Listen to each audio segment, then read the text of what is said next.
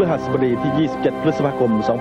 2519 ซ้ายมือวิชาน้อยพรทวี ขวามือพุทธผาดน้อยวรวุฒิพิกัด 131 ปอนด์ที่เวทีราชดำเนิน นี่คือนักชกรูปงามครับ พุทธผาดน้อยวรวุฒิและนี่คือยอดมวยอมตะ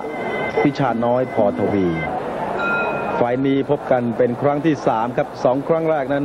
ผุดผาดน้อยแพ้น็อกหนึ่งครั้ง และแพ้คะแนนหนึ่งครั้ง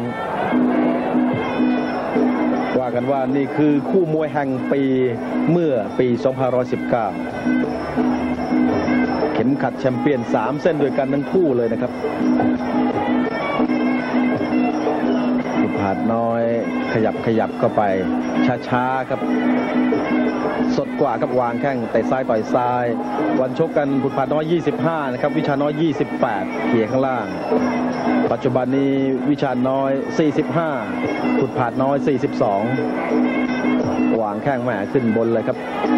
วิชาน้อยในทุกอย่างเลยนะครับ อาวุธแหมมีลูกขู่ลูกแน่นหมัดเท้าก็ศอกครบเครื่อง เดินแล้วครับ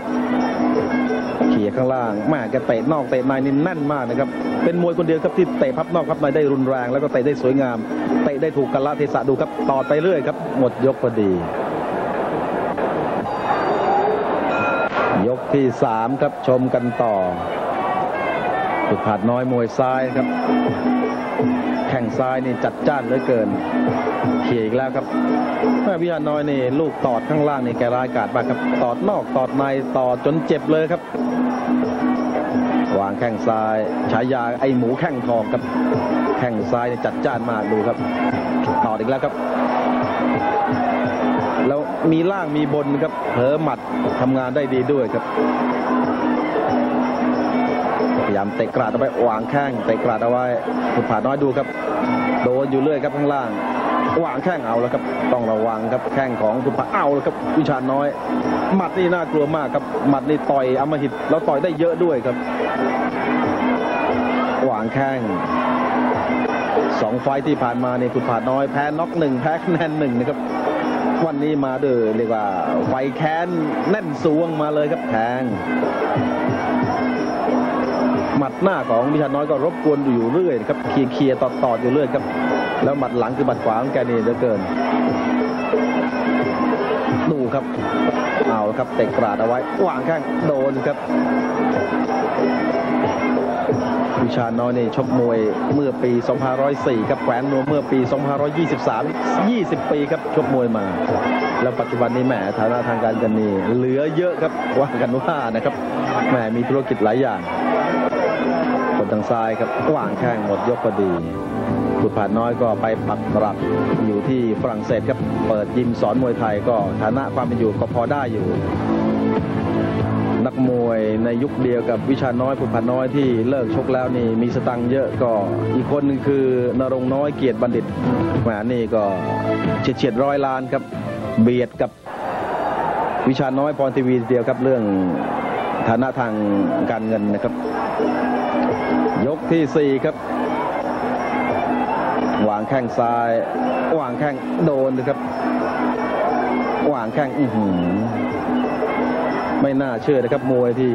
รักษาเนื้อรักษาตัวนี่ชกได้ถึง 20 ปีครับพิชาน้อย เริ่มชกปี 2504 แขวนนวมเมื่อปี 2523 และเป็นนักมวยที่แหมใครที่ผ่านยากเหลือเกินดูครับ ลูกต่อของแกนี่ นอกในนอกในสลับอยู่เรื่อยครับ แล้วก็เวลาดุได้ดูครับดุจริง ๆ ดูครับเจาะยางจิ้มแล้วครับ อือหือ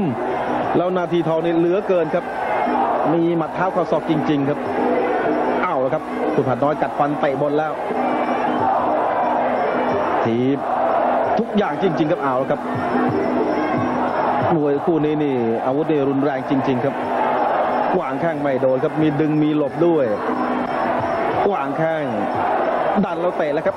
ลูกนี้ดันแล้วเตะเลยครับวางแข้งโดนถีบยันเอาไว้ แล้วลูกขู่ของดูครับเตะกลาดข้างล่างนี่เหลือเกินครับโอ้โหโดนดูครับ คุณผาน้อยต้องชักขาหนีดูครับ เจ็บเหมือนกันนะครับว่าเยอะแล้วครับที่ทนไม่ไหวครับโดนลูกเจาะยางของวิชาน้อยนี่แกเจาะรุนแรงมากครับ เจาะนอกเจาะในครับมีทั้งพับนอกพับในหมดยกที่สี่หัวใจไม่เต็มร้อยนี่ชกกับวิชาน้อยนี่ลำบากครับ ดูครับแกเตะจนเจ็บเลยนะครับ แล้วดึงด้วยครับ อือหือ แล้วลูกต่อยนี่แกต่อยได้เร็วต่อยได้แม่นบทจะขู่นี่ตีหน้ายักษ์ขู่ก็เก่งอีกต่างหากแหมไม่งั้นก็ไม่เป็นยอดมวยอมตะแล้วครับ ยกสุดท้ายครับสุภาพน้อยสาดแข้งซ้ายวิชาน้อยเดินก็เป็นเรื่องวางแข้งขวาเอาละครับแทงเข่าปล้ำฟัด วิชาน้อยนี่ได้แชมป์เส้นแรกนะครับเข็มขัด ชนะสมิงทองจีรพันธ์รุ่นฟลายเวทเมื่อปี 2510 เส้นสุดท้ายครับ ได้รุ่นจูเนียร์ไลท์เวทของราชดำเนิน ชิงได้จากสายฟ้าแสงมรกตเมื่อปี 2517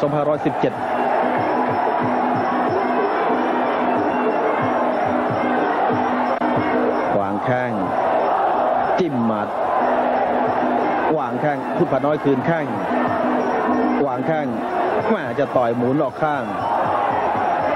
ใกล้จะหมดยกสุดท้ายครับแหมมวยคู่นี้นี่ดูลำบากนะครับ